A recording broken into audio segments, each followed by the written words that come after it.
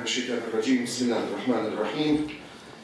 الحمد لله رب العالمين وأصلي وأسلم على خاتم الأنبياء والمرسلين سيدنا ونبينا محمد وآله وصحبه أجمعين. سبحانك لا علم لنا إلا ما علمتنا فعلمنا ما ينفعنا وانفعنا بما علمتنا وزدنا فقها وإخلاصا وصدقا في الدين. ونور اللهم قلوبنا بنور الفهم والمعرفة واليقين. وثبتنا على دينك وطاعتك وطلب العلم ومحبة النبي محمد صلى الله تعالى عليه وآله وسلم حتى نلقاك وأنت راض عنا يا رب العالمين وبعد Draga naša omladino i mlađa i starija, Assalamu alaikum wa rahmatullahi wa barakatuh. Dobro nam došli i na ovu večerašnju kuransku trpezu kako bismo saznavali ovako i otvarali naše redike i naše spoznaje o Koranu časnom. Prije nego što počnem samo nekoliko ovako e, stvari, dakle, mm, smo imali jedan lijep mevlut ovdje, mevlut, kojim sam ja učestvovao i rekao sam malo pokasno Farisu našeme, ovome vrijednom momku, ovaj, da, da, da to oglasi, da ću biti tamo, ovaj, ali kasno sam se sjetio. Zapravo samo dan prije toga sam i znao da ću moći da dođem na ovaj mevlut. Mevlude ja inače, evo, nekoliko decenija, 30 godina najmanje kako posjećujem, od, kako sam u adresi bio, e, mevludi su lijepa stvar. Dakle, možda neko kaže, pa šta ćemo to, nije bilo, nije, znaš, ovaj, puno toga nije bilo, znaš, ovaj. Puno toga nije bilo, ali je zbog potreba muslimanskih nastalo i okabuljeno, jel? A o tome je li to ispravno i nemoj da raspravljaju mesari, tesari, zidari, čevapčije, burekđije, krojači, krojačice, čistači, čistačice, To je katastrofa, ko što tim stvarima. Baš da ja sada počnem s doktorom Falani i raspravljam što je zašio tamo, znaš, što rano ovako, mojmo se igrati, Boga dobro dao. Jer sam mehaničar, majstor, ne dođe, što ti zavrčiš ovako šaramati? Legitimnost me vluda, zato ima Ulema je kazala svoje. Ako se tebi ne sviđa, Bog ti dobro dao, ne sviđa se, nećeš ovaj, kad se preda selam, džemat je završen, dragi moj, nemoj stvarat nered. Nemoj stvarat nered, i smutnu, smutljivac biti, odmakli se ono ludi kako imaju svoje značenje i svoj smisao, a mi koji smo izučavali islamski šarijat i još ga izučavamo, evo sad je meni u posjeti bio, znate ko mi je u posjeti? Za dlaku ga nisam ovamo, malo je falu, ali ne može. Znate ko mi je bio u posjeti? Muderis Efendija, Nezim Halilović, naš veliki borac, i muđahid, i daja, i alim, to je čovjek koji, s se ja poznajem dugo vremena, inače on je mene dočekao kad sam došao u Kairo na studij na čuveni univerzitet Al-Azhar, davne 1988. Prije više od četvrt stoljeća. Kad sam došao tamo, a tada je bila generacija u Kairu, Rej Sulema sadašnji, Husein Efendija Kalazević i modelis, oni su generacija, oni su stariji od mene. Oni su bili tada završne godine kad sam ja došao, oni su mene dočekali. I moj hanom, kod Efendije sam bio 15 ili 20 dana u njegovom stanu, dok nisam našao sebi stan, dok nisam snašao, jer Kairo je ogroman grad, preko 15 miliona stanovnika. Znaš, tada je imao, sad ima preko 20 miliona. Tako da mi imamo, dakle, veliko, velike prijateljske veze i bratske, ovaj, pa on je, nije mogao, bio, on je došao predašan, nekako sjedili smo da je u Rosuljama i sa Hanom Muras u Sarajevu ima neke obaveze, a evo ja sam ovdje vama, vama došao, pa dakle, ovim stvarima neku lema, on ima, on ima raspravlja, dobro da. Ako počnu da se bave, ko što meni kaže profesor Topoljak, Sulejman, čovjek koji je tiho ovako, koji je napisao knjiga, draga moja djeco, trebalo bi deset godina neko od vas da uzme da čita šta je ta knjiga, ne znam, vidim mogu pričati deset godina. I on je išao iz krajine, on gore u Bihaću, gore se ovaj, nastanio i tako Allah otvorio na faktu, već je 20 godina gore koliko je, ovo iza rata ili vrata. Ja stavo, kaže, nešto putovao vam prema Sarajevu, kad neki momak, ovaj, momak neki, vidim brada, fino u donjem vakfu, da, znaš ono, da, da mu stanem, da, da me obavezem. Pa stava ja, mogu dječi, kaže, može li, kaže, do, ne znam da će im se u Zencu, kaže, Boga ja ću Sarajevo, do Dolašve. Ako hoćeš u dotravnika, pa gdje ti je, aj kaže može. Uđe momak i priču, poče, aha, selam, tako, ovaj, ne znam ja on ovaj prepoznao, kaže, možda jest, možda je nije, vjerojatno nije. Otvori se momak, tako priča, počne on da priča, ovaj, znaš, hajde ja ga se pustiti, znaš. Kad? Njemu je ravna priča, šta? Ne slaže se on, ovaj, sa fetvama šeha Jusufa Karadavija. I on kritikuje šeha Jusufa Karadavija. Mene počne fatat nervoza, ovo profesor, ovo profesor doktor. On je profesor fika. I u suli fika, teorije šerijetskog prava. Koji zna ko je šeha Jusuf Karadavija, zvijezda na nebu. Mene počne fatat nervoza, ali sada mi je ušao on, moj auto, da ne budem drzak sada, znaš onaj da. Kaže, omak, čim se ti baviš? Pa ne ne znam, nijem čime se bavi. ništa on nije, ništa on nije uspio. Mislim tako, ni, ništa. Šta završio? Ništa. Šta su radio? Ništa. I onda smo na kraju mu rekao, ovaj, dijete drago, momak, nemoj, nemoj tako, nemoj tu što sad radio. Ja sam ta i ta, malo sam poslije zastidi. Čuo za moje ime, kaže, ovaj, naš ovaj, nemoj to da bi više tako se ponašao, ovaj, nije, nije tvoje tim stvarima da se ti, ovaj, ako se ne sviđa nemoj ti da kritikuješ i da, znaš, ovaj, da, da, da izlažeš kritici i raspravama, dakle, nastaće, nastaće haos, nastaće haos. Zato tim stvarima nemoj da se, da se mi, da se mi time bavimo. Ja sam sad nedavno bio u Mauritaniji, Evo, jučer sam da me ludo rekao, nije bilo prilike da malo više o tome govorim, ali evo sad ću spomenuti vama. Puno sam zemalja obišao gdje žive muslimani. Gdje god ima muslimana, meni drago, ja se odmah osjećam ko riba u vodi, kad sam među muslimanima. I sa drugima ja komuniciram, ima poznanika i prijatelji koji nisu muslimani, razni. Pogotovo na ovih konferencijama susretili su naučnicima iz, iz Švicarske, iz Austrije, iz Njemačke, iz Britanije, iz Kanade, iz Australije, iz, koji nisu muslimani, koji su, ne znam, budisti. Ovaj, komuniciram s drugima, ali sa muslimanima sam posebno, jer to su moja braća i moje sestre u liniji islama, muslimanke. Dakle, muslimani muslimanke. E, puno sam vidio, dakle, načina kako izražavaju ljubav prema poslaniku Arapi, recimo. U Tunisu, u Alžiru, u Egiptu, u Siriji, pa u Saudijskoj Arabiji, Pakistanu, u Indiji, Ali nigdje nisam vidio ovako subtilno, ovako lijepo, kao u dvije zemlje. Kao u zemlji Bosni i kao u zemlji Mauritaniji. U Mauritaniji to je država ili zemlja pjesnika. Mauritanija je ogromna zemlja, površinski. Znate koliko je bila bivša Jugoslavija? Ogromna. Mauritanija je četiri puta veća od bivše Jugoslavije. Kao četiri bivše juge. Odnosno, više od 20, veća nego 20 Bosni i Hercegovina. Kad stavi 20 Bosni i Hercegovina jedno pored drugi, Mauritanija je veća opet. Ogromna zemlja. A ima stanovnika koji imaju prilike 3,4 miliona.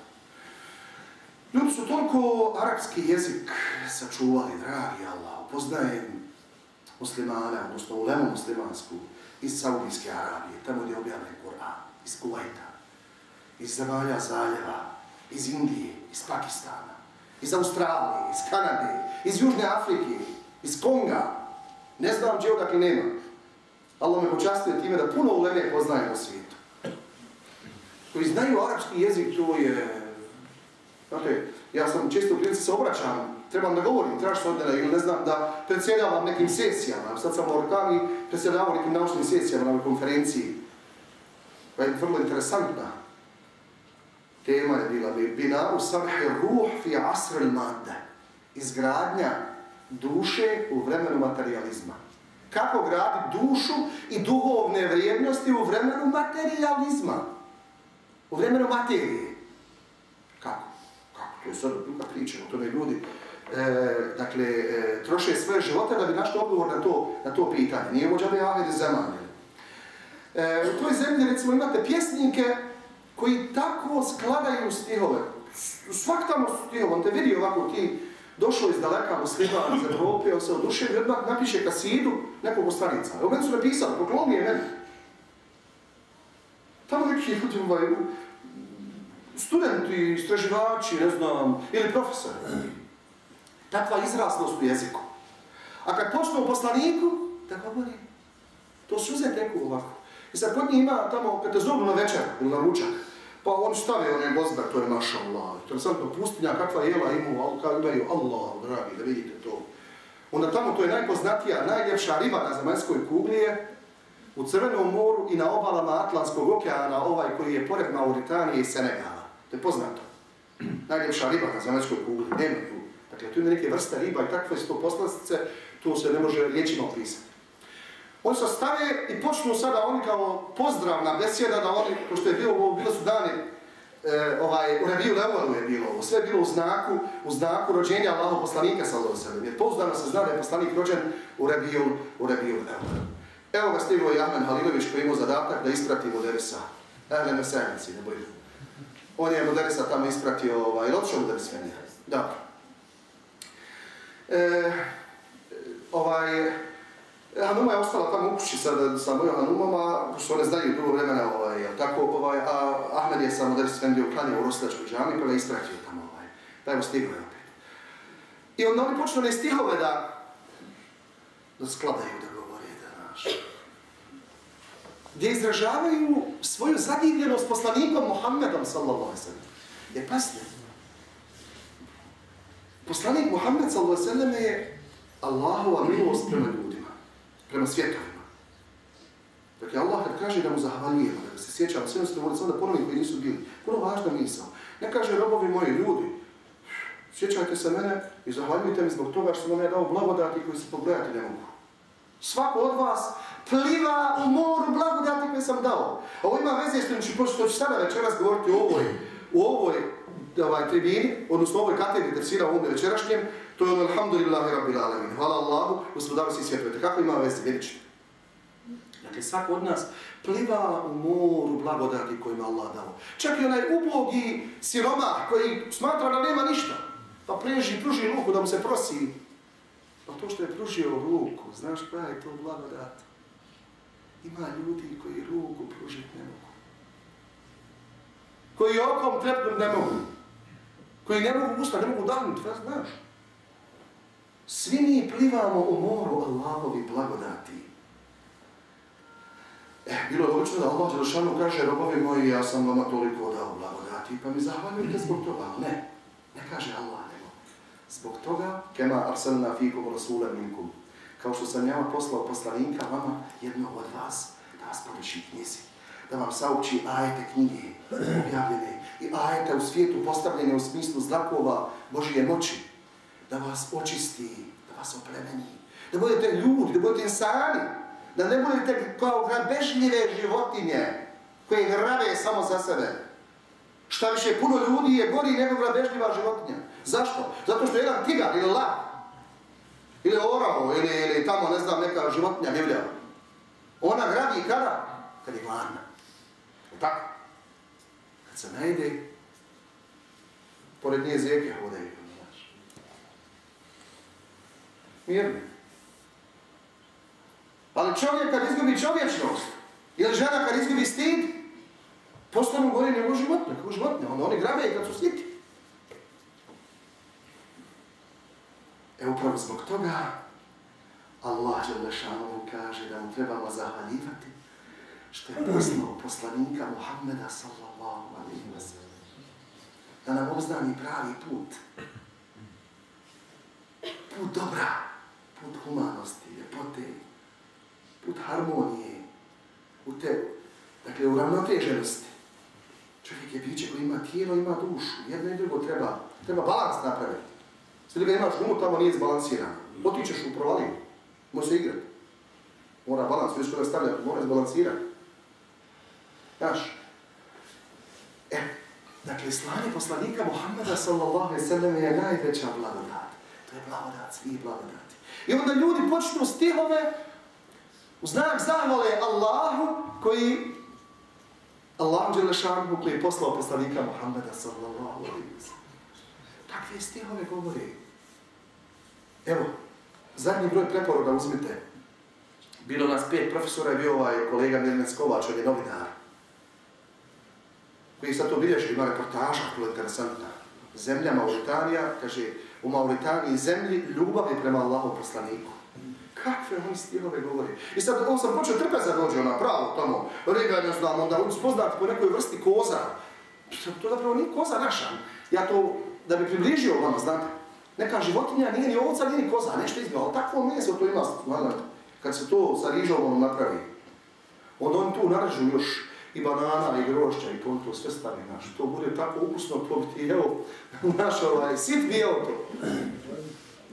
I sad oni počnu znak, pozdrav, počnu testi, ali onaj počne pričati, pa on ne prestaje. Pola sata, 40 minuta recituje čovječe jedan. Pa drugi, pa, sad ove kolege drugi, ovaj, meni hvala Bogu arapski ide dobro, pa mogu dosta toga razumjeti.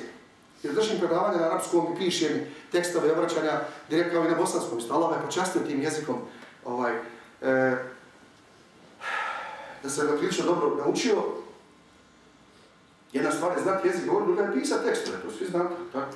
Mnogi tamo spikaju nešto i, i šprehaju, a, ovaj, kad im treba što napisati, onda boga mi, pogotovo ako je, ako je neki tamo da se neko čitati obrazovan, onda to ne smije svako.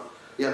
Ovaj, e, I ovi moji kolegi ne razumiju da iz Turske je bilo profesora neki koji skroz slabo ima arapski ide. I onda smo im malo urgirali da skratimo, te ljudi ne razumiju, znaš, ne mogu oni se udušiti. A ovaj kako pričate stihove, on sve više i više ga uzima, znaš, onaj žar neki.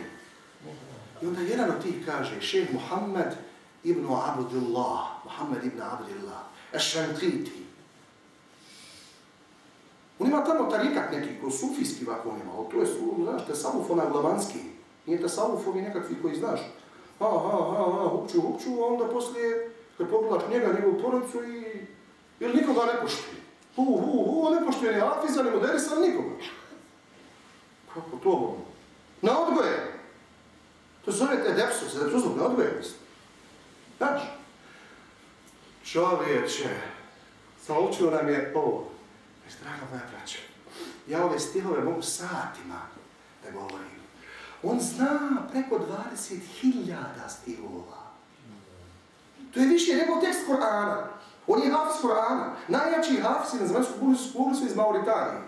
Oni još koriste tamo ono pisanje. Što misliš 300, 400, 500 puta da napišeš Koran, svaki ajd, pa ga izbrišeš tako.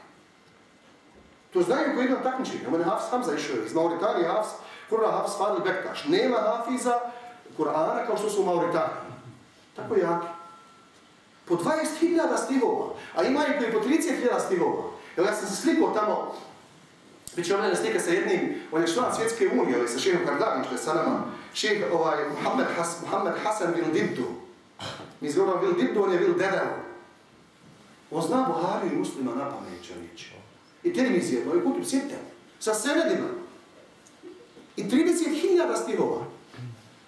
I sada ovaj nama šeha, Muhammed ibn Abdillah, kaže, Ja sam, kaže, jedan put, kaže, mene su moji testirali, znate šta se desilo, čovjek zaplaka. 24 sata on je recitirao stihove i nigdje nije stao. Puna 24 sata. Pohvala poslanika, oduševljenost poslanika Muhammedom sallallahu Bez toga da se čini bilo kakav haram, da se poslanik glorificira, ne znam, ko su kršćani, počeli Isusa tamo, ono, znaš, pa ga iz ljudski, iz okvira ljudski ga izveli, dali mu božanske osobine ili budisti budu. Ne. Takva jedna, takva jedna prefinjenost. E to se može osjetiti u našim, i našim ovim ljudima koji, koji ovdje mi, koji alhamdulillah, nešto izraz jedan oko ljubav prema poslaniku sallallahu alaihi wa sallam. Znate, u teškim vremenima, kad smo mi ovdje okruženi ovom raznom divljinom ili divljači, divljač, znaš, razna, koja hoće da bošnjake zavadi.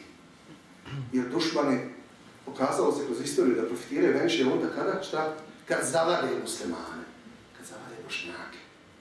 Ali nećemo sad o tome, nego hoću da ovako večeras neću duljiti jer sutra je, sutra je inša Allah ovaj radni dan, pa treba se spremiti i zato, pa ovako, ekulu obi lajte u fik, dakle, na tragu onoga što mi započeli.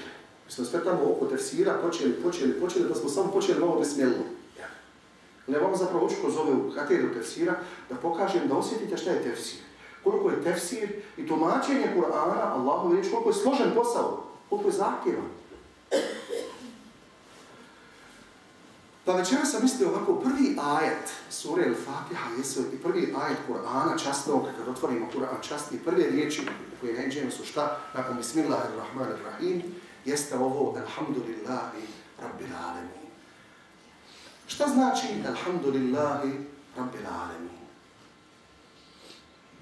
Hvala Allah, gospodaru svijetu. To ono što mi u mektebima naučimo se prevodi. To je tačan prijevod, ali je reduciran, odnosno skraćen.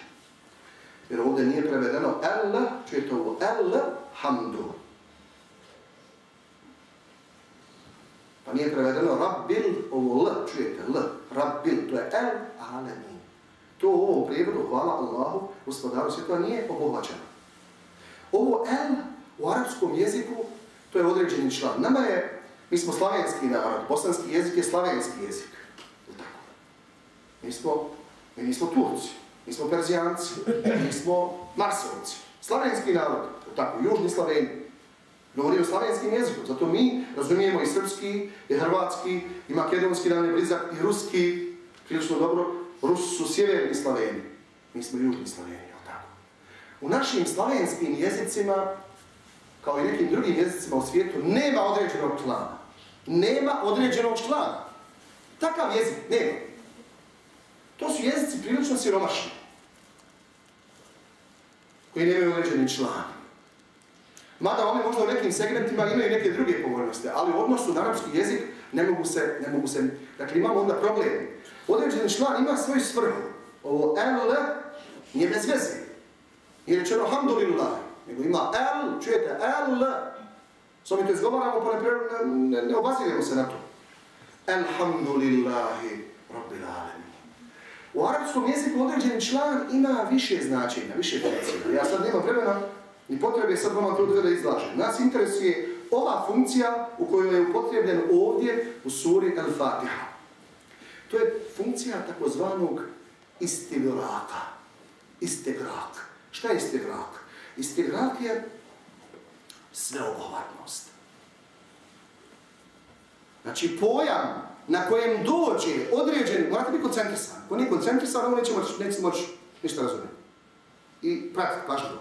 Dakle, pojam na kojem dođe određeni član, znači, time se želi ukazati da taj pojam sve moguće oblike koje obuhvat, na koje se može primijeniti obuhvataj.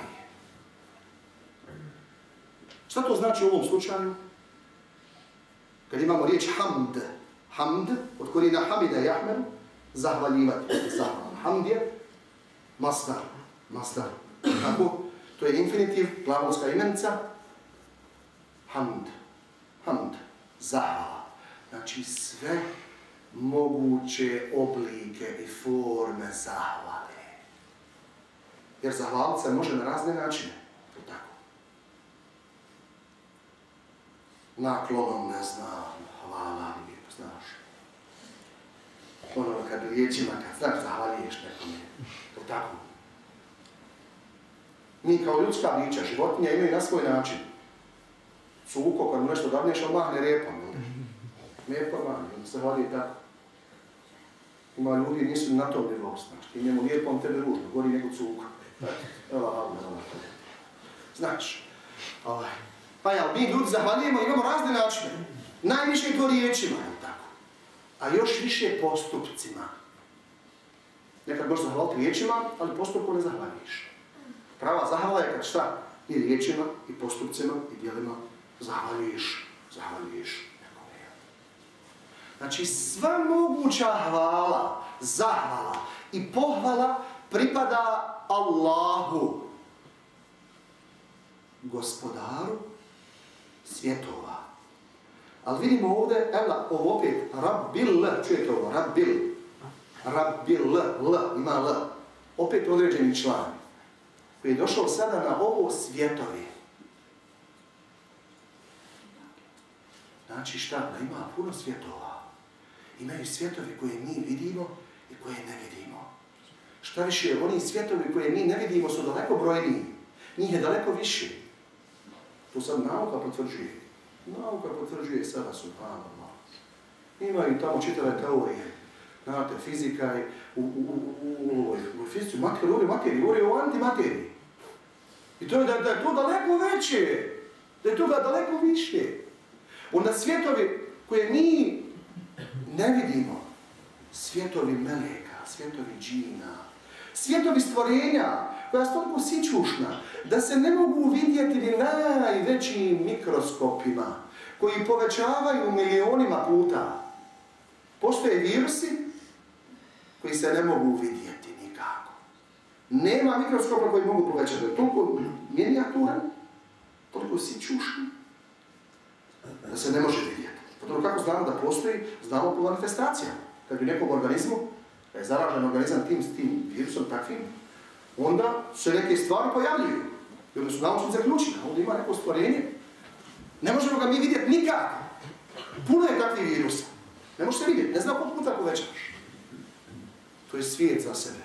Svijet virusa koje možemo, dok učite svijet virusa koje ne možemo vidjeti.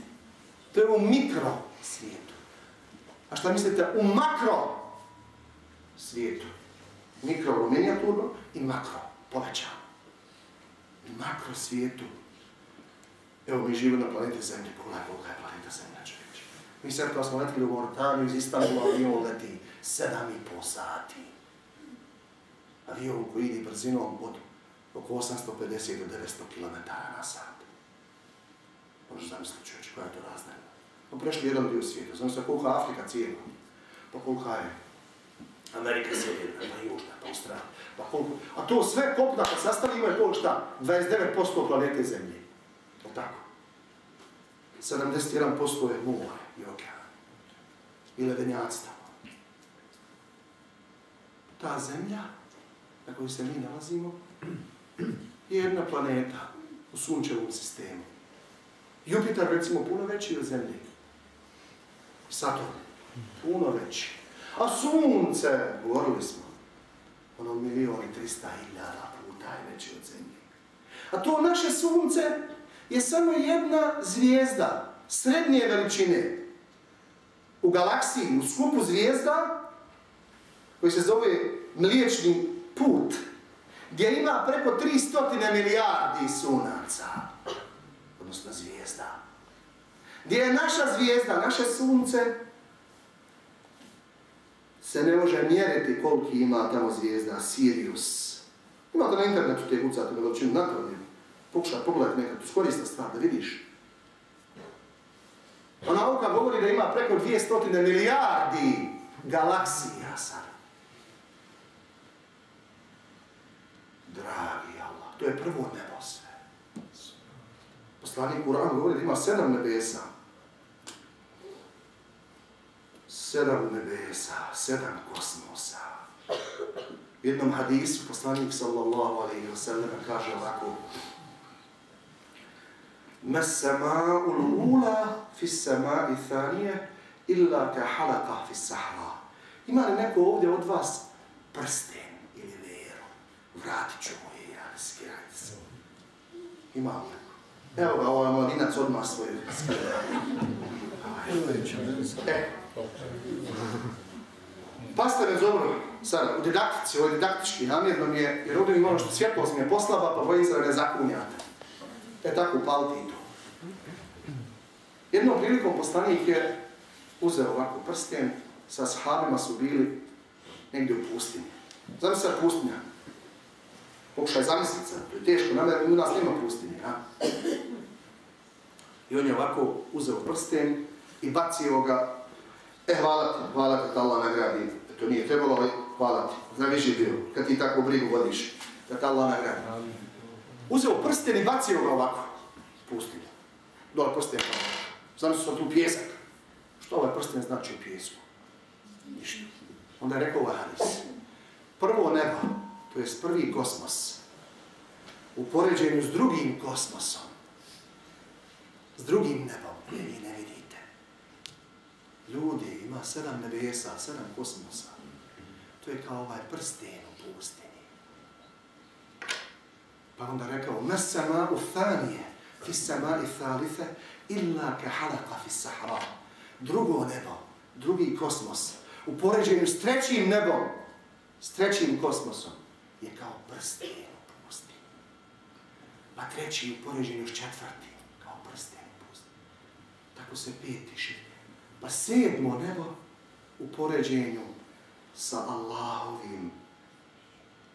Tamo ima umjesto terminima, kursi ima arš, to nije isto, onda mi to kad prevodimo uglavnom, to više zašlo se, nećemo se detalje, sa Allahovim aršom, ili prijestoljem, je kao prsten u pustinji. Vidi ovih svjetova sada. Allah je Rabbul Alamin. Ovo ukazuje na ove minijaturne svjetove i na ove srednje veličine i ove puno, puno veće svjetove. Allah je gospodar svih svjetova. Hađe, evo, zahvaljujem. Evo vidite, svijet sam vratio. Da ne bi hađinica se molila. I kad kažemo Alhamdulillahi Rabbil Alamin, šta to znači? Kakav bi bio najprecizniji prijevod? Moramo malo bukvalno ići. Najprecizniji prijevod bi bio sva hvala i sva moguća pohvala i zahvala pripada Allahu, gospodaru svih svjetova. Svih svjetova. Mi svjetovi koje znamo, koje ne znamo. Koje vidimo, koje ne vidimo. I sad zamislite ovo u namazu kad se uči. Nakon tekbira, subhanak jer ono dova kad se uči bismillah, hvala Allah, gospodaru svih svjetova. Nije ovo bez razloga došlo na samom početku Kur'ana. I na svakom rekiatu namaza, nema namaza bez fatije. Tako. I u našem alefijskom mezu, ako se ne prouči fatija, proučio suru, može, ali moraš sežiti, znači, ne, nije ispravno. Nije to bez razloga. Znači ti se vezuješ za Allaha, zahvaljuješ Allahu koji te je stvorio u svijetu koji postoji i koji je, drugio, koji je stvorio sve te svjetove koje postoje sa određenim planom. Allah ima plan, program od stvaranja svjetova. Allah je daleko od toga da stvara bez svrhe. I mi ljudi znamo, zamislite kad bi neko sam napravio nešto, dvorac napravio.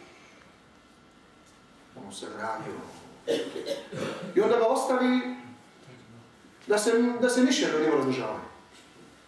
Bez, bez svrhe, znaš. Ili da pravi, ne znam, neku auto, nešto, nešto, ne, nema to. To ne radi normalan čovjek. Jedno mogu taj da ponudi, znaš, ali je normalno. Allah zašao isto tako, nije stvorio svjetove bez svrhe. Čafiri, bezbožnici, oni se varaju, strašno. Najveći dokaz protiv njih jeste ovaj dokaz razumski. Da oni zapravo govore da ljudski život nema svrhe. Nema svrhe, jer ako će čovjek umrijeti i biti zakopan da ga povedu u crvi, kakva je svrha? Ama Allah je dao on da, crv, to malo sićušno stvorenje koje se mi izgražavamo kad ga vidimo, da je odgovor, najbolji odgovor čafirima, bezbožnicima, komunistima, ateistima, da je crvi. Jer to ne bilo stvoritelja i onoga svijeta gdje svi idemo, gdje je apsolutna pravda, istina, onda su crvi najveći bosovi. Sve živo postoji što da umre, ili crkne, da ga zakopaju, ili da ga crvi pojedu. A ti halve, smo mi za crveno. Crvenaš. Takvo biće, pogledaj, svaki čovjek i svaka žena su lijepi na svoj način. Zato kažu da je stvar da je lepota relativna, naravno. Jer može biti u očima nečim lijepo, u drugom, to je nije lijepo, znaš. Samo problem je danas što, znaš, mi imamo pojmove tamo, postavljaju se, znaš, pojmovi. Pojmovi tamo ljepote, znaš, lijepa je ta, ta i ta razraknica, ne, ne, ne služuje da je spominjem tamo njezno ime, ovdje sada, ali ima i puno. Tamo spominjenu lady, lady lady, ne znam kako je. Maja, ne znam kako izgovara, ne znaju tačno, oni ima transkripcija. Tamo piše se gaga, ali se tu ne izgovara gaga, to se izgovara kaka. Ne kaka, to je prava kaka. Oni kažu gaga, ma nije, oni ne znate transkripciju, da se tako piše. Znate sve transkripcija. I kaka im lijepa. Znaš, i ona im lijepa, i to pojem ljepote. I shašuriše se da budu tamo, kako, ono kaka, obična. Svaki čovjek, svaka žena su lijepi na svoj način. Sve dok nije neka deformacija, ne daj Bože. Kad je deformacija, onda i Ulema je kazala i ljekari, pa operiši onda, operiši. A problem je što su mi bombardovani, znaš? Da ti prikazuje stalno, to je lijepo, to je lijepo, to je naš ovaj. I onda s niko s ne može. Čovjek je biće koje možeš oblikovati. Ko plastelin, ko spužna. Samo malo pažnje, sad se ozbiljite. Ovaj, nećemo odvoljiti. E, šta mu nudiš, šta mu serviraš, to će, to će postati. To će poprimiti. E, hvala Allahu, gospodaru svih svijeta. Dakle, sa činjenicom da je ovo prvi ajet u tekstualnoj evidenciji Korana. Pazite, Koran nije objavljivan po ovom redu kakav imamo danas. Kako je Usaf. To je poslanik kad ustrojio, naravno, ovaj redoslijed, sura, ajeta, ali nije po ovome redoslijedu objavljivan. Prva je sura bila šta ikra, prvi pet ajeta. Među prvim surama je bilo tamo Vebduha, pa ja imamo deset, pa Nun, val kalemi wa majsturun, pa ja imamo zemlje, među prvim surama. A one su sad tamo, pri kraju Kur'ana, bilo samo kraj Kur'ana. Ovdje na početku je Fatiha, pa sura Bekare, nije bez razloga ovo da Bekare, da sura Fatiha počinje sa riječima Alhamdulillahi Rabbil Alamin. Sva hvala, zahvala i sva moguća pohvala pripada Allahu, gospodaru svih svjetova. Pa i onda kad ti je teško, zahvaliješ Allahu. Jer tu, ako te neko prevario i razočarao ili nešto, trebaš tu ovako preispitati se malo sebe prije svega. Što je to se meni desilo? Sam ja šta tu kriv ili kriva? Prije što nekoga optužiš, uvijek sebe prvo. Jer kad uzme upriješ prst tamo da je kriv neko, a? Jedan je tamo ukrita, tri su prema tebi, vidi. Ja sad kažem, ti si kriv tamo, vidi. A tri su prsta prema meni, vidi. Jedan zakon, fizički su onako, ima ovako. I kad ti je teško nešto, preispituj se, zavali Allah. Jer može biti teže, može biti gore. Danas ima ljudi koji se bojiš da se upitat kako si. Me se nekad desilo, ja takve više ne pitam kako si. Upitaš ga kako si, šta ima? Kad ti on ospe, kukat, pa ne valja ono, pa ne valja ono, pa ne smeta ono, pa. A gledam ga ovako, vidim, došao na svojim nogama. Ide, hoda, diše, ne nosa one pumpice, naš. Boga mi tamo kad se staviš, tamo se jede, dobro hlapi. Spavo isto, može spavat, može jest, može... Pa ima i neka primanja, ima, nije, znaš, nije neudrago, nije, nije... Opet nezadovoljno. Nezadovoljno. A Allah Đelešanu kaže la in šakartum la azidannakum. Ako budete zahvalni, ja ću vam ne samo sačuvati te blagodati koje sam vam dao, nego ću ih još povećati i uvećati. Ovo, pošto ovdje vidimo maka, ovaj, dole puno, a pretpostavljam da ima i djevojaka gore, ovaj, e, oni koji će se ženiti i udavati, tako, oni koji će se ženiti, oni koji će se, ovaj, oni koji će se ženiti, oni koji će se udavati. Može i tako. U našem jeziku je interesantno, ovo je možda, ne znam, ovo bogatstvo. U engleskom jeziku merid je, sve, sve merid, tamo, ja. Ha, merid je žence i udrce, tako. I u arapskom jeziku isto. Kod nas, evo interesantno, u slavenskim jezicima je to razdvojeno, nije isto ženite se i udrce se. U nas, ne znam zašto. Ovo je sad za razmišljanje. Ali jedna stvar, među supružnicima budućim, naučite iz ovoga što Allah, dragi, je dao da počinje Fatiha i počinje Kur'an sa zahvalom. Allah nas uči čemu? Da budemo zahvalni u životu. Da mu zahvaljujemo. Da uvijek preko zahvale pristupamo njemu. Jer on nam je dao blagodati. Pa jednom najvećim siromatom da se ne može zahvaliti. Kad cijeli život na zemlji da seđdi bio. I te spiće, ne može zahvaliti samo za jednu blagodat koju Allah dao. Evo iz života Ibrahima a.s. slučaj. Za one koji se misle ženiti i one koji se misle udavati. Pogotovo one koje se misle udavati. To svaka normalna žena i djevojka misli. Kad ne bi to mislila, onda nešto tu ima, nešto što nije u redu. Jer je Allah dao, Allah Đelšanu dao da se tako kompletira ljudsko biće. Zato imaju pravila, imaju pravila, ha? Vidimo ova tema kad je ženko ženitbi i je plava ovako interesantna, ovaj pa odmah počne žabariti nešto, ali saslušajte, ovo je korisno. Iz vremena Ibrahima a.s. kad je on došao sa svojom suprugom Hazreti Hadžerom u pustinju, putovao nekoliko hiljada kilometara, oko dvije hiljade kilometara iz Palestine, a, treba doći do ove. Tada nije bilo Mekke, nego je bio vadin gajri vi. Dolina koju Kur'an opisuje, u kojoj ništa ne može uspjeti. Ne možeš posijati kak tijelo. To je krš. Hem pustinja, temperatura 60 stepeni, preko 60 hjeti, ali nije pjesak, nego kamen. Kamena pustinja. To je strašno. Teški uvjeti. I tu ostavio je se. Onda on ide nešto malo, neki, neki šatorčić, postavljamo neki ili tako tu, djeta to malo, uzeti Ismaila. I on ode, kad žena ode. Ona za njim, gleda rasulat naš. Ona ide su za njim, ona ostati u subhanu. Nije nikoga. Tu okolo vodaju divlje zvijeri, naši. Pustinja. Kamena pustinja, strašno.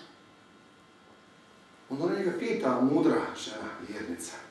Kaže, Allahu amiruke bi hada, je li ti Allah ovo naredio? Jes, naravno, kaže, ja slušam, ostavio ovdje djeti da mi Allah ne naredio. Dobro, kaže, idem, jodajana. Ako je tako, mi nećemo biti izgubljeni. Evo ovdje, dragi naše djevojke, dragi naše sestre, muslimanke, draga naša omladino, zapamtite dobro des. Ako je Allah nešto naredio, a ti se toga pridržavaš, nećeš biti izgubljen. Što se danas djevojka razgoličavaju?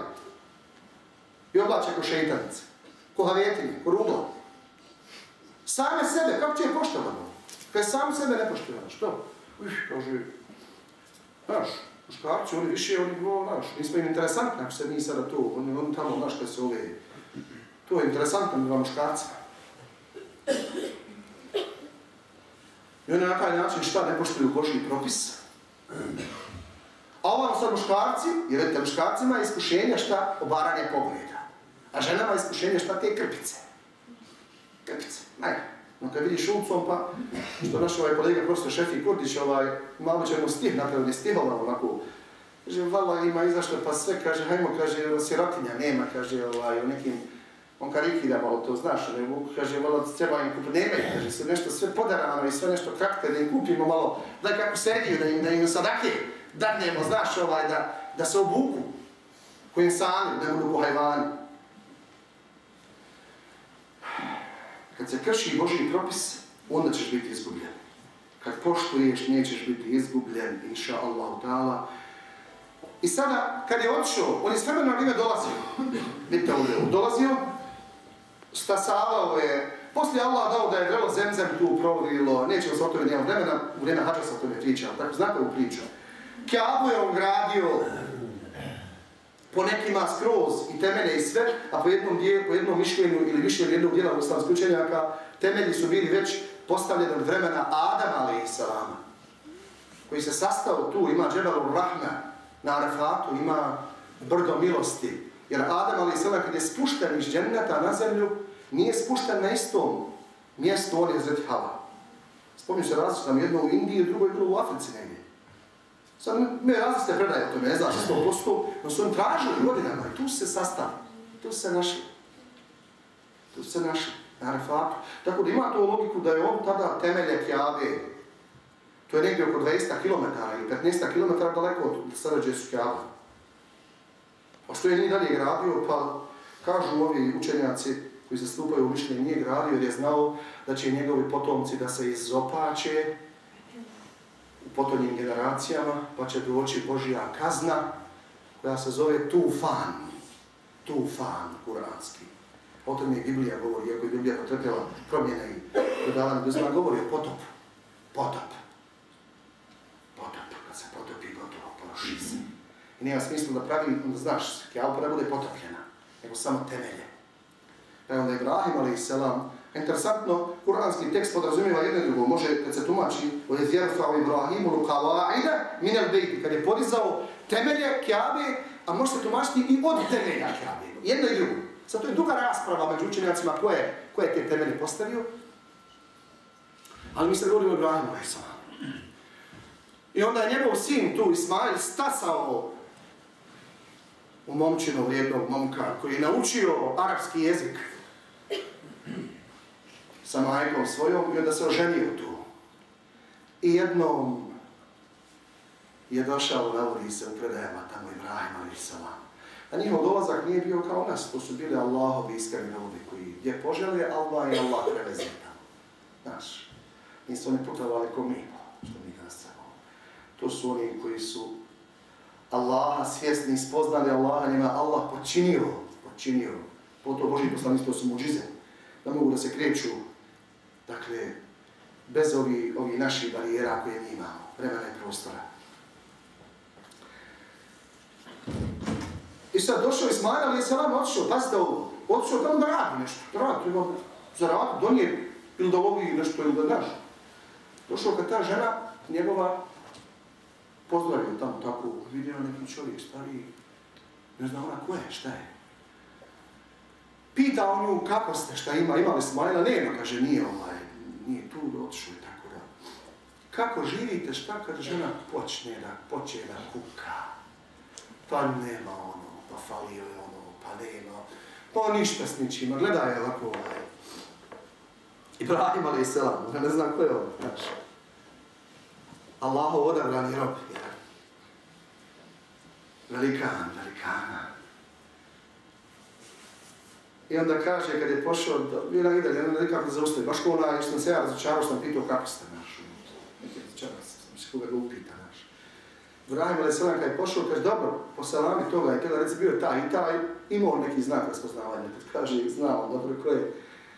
I poručio, molim te, samo ovo prenesi, da promijeni kućni prak. Reci, rekao ti je taj i taj, bio je pitao je za i rekao ti je da promijeniš kućni prak. Dobro, znaš, hoću, ne znam, ova žena šta je. Ovdje kad bila zbog sklona do Njavukusa, što je samo Njavučki, ali... Kad je Smajler sam došao tako umoran, morio se pita šta ima, kaže, bio je taj i taj. Šta, kada, pa bio je, ima tamo priča, vrlo interesantna, pa šta je, šta poručio? Jes, kaže, posalamio te i rekao ti je da promijeniš kućni prak. Šta? Promijeniš kućni prak. Pa znaš ti, znaš šta to znači? Ne znam, kaže šta. Pa to znači da ti više meni ne može biti žena. Znaš ti ko ovaj čovjek? Samo. Sigurno si mu kukala nešto tamo, jadala se. Pa jesam, kaže, znaš kako mi živimo i ovo. Dobro, kad si tako ti ovaj. I on nju razvećao. Razvećao tu ženu. Tako se navodi tamo. Onda je postoje ženio drugu ženu koja mu je rodila 12 sinova. 12 sinova. I od tih njegovih 12 sinova vode potomstvo sjeverni Arapi koji se zovu Arab Adnanije. Arapi Adnanije. Adnanije. Od njih vodi porijeklo Muhammed a.s. Jednog od tih potomaka. Smajla a.s. Samo tu je velik vremenski raspad, od 2500 godina. Zahvala. Treba zahvaljivati Allah. Što je današnji čovjek nesrećan? Ne nije. Pa zato što nije zahvala. Pliva u moru Allahovi blagodati. Sa svih strana. Opet nezadovoljno. Zašto? Zato što živimo u poremećenom svijetu. Kad imamo medije koji te stalno a, bombarduju. Daj ovo, daj ovo. Nisu džabeve konzum, konzumerizam, konzumiraj. Zaradi potrošio. I opet potroši. Kon, konzum, konzumiraj konzumerizam. Ima ovaj smislu kupovine i trošnje, ali ima filozofski pravac. Konzumerizam. I ono, to znaš. Hodeš, ne znaš, trošiš, isto trošiš, ne znaš, što pare, samo te ovaj, to, što kukuruze ovo, ne treba ti, što ti ne treba, uzmeš. Jer ima tamo tehnika, ovi, što mu, ovaj, jedan put jedan meni prijatelj, ja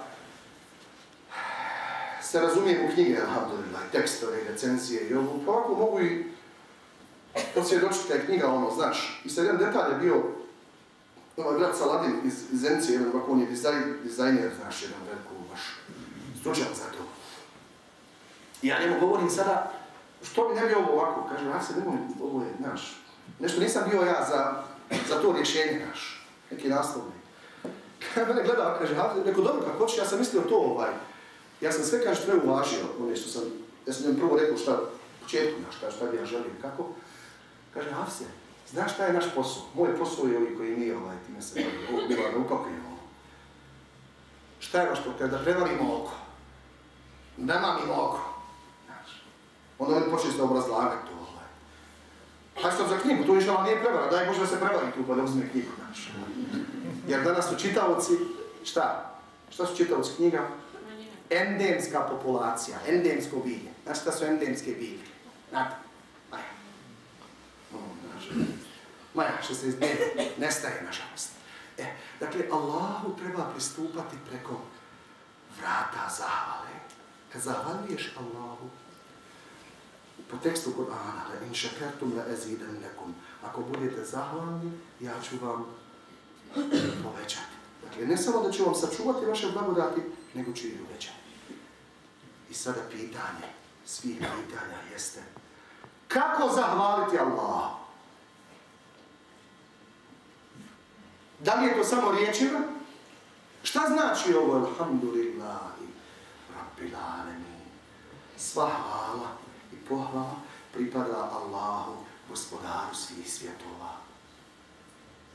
Ovo Rabb znači da on gospodar el malik el mutasarrifu fi mulkihi kejfa ješa. Tako Ibn Kesir govori, kad tumači ovo.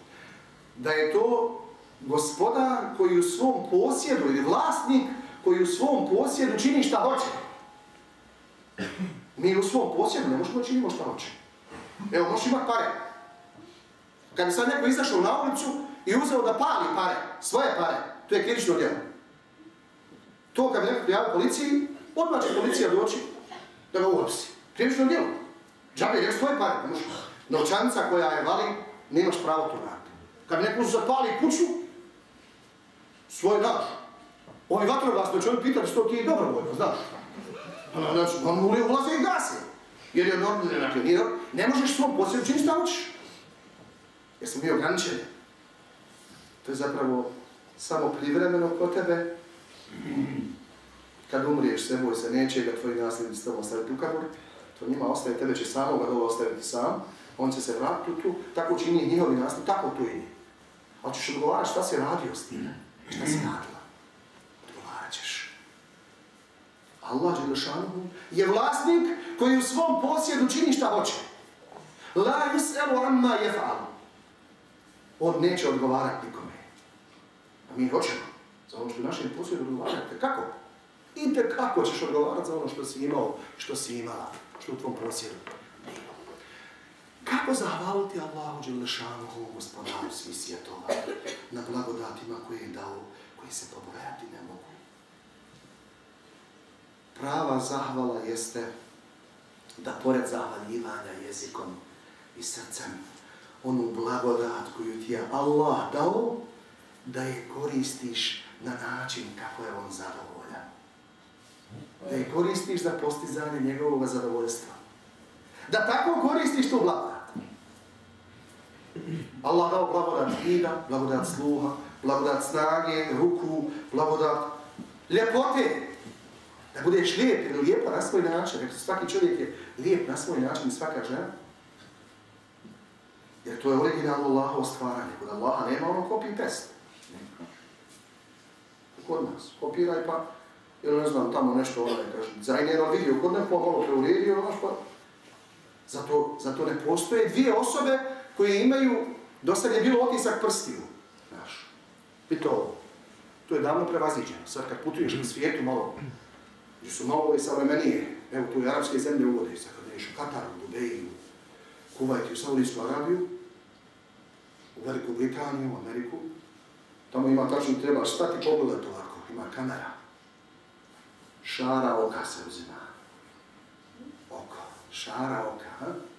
Jer ne postoje dvije osobe koje imaju istu šaru oka. Ne postoje. To je još preciznije nego ovo. Šta više, ne postoje dvije osobe koje imaju istu boju glasa. Allah. Ne, to nama izgleda ono je naš glas, možda neko sličan. Ono, naš, na glasovi isti. Pa ima ono, ove budaleštine zvijezda, možeš ti pokušavati, znaš šta, znaš šta, Nije ono, na pravi naslov je ono, šeitan možeš biti ti. Maj, na pravi naslov je to, šeitan možeš biti ti, nije zvijezda možeš biti.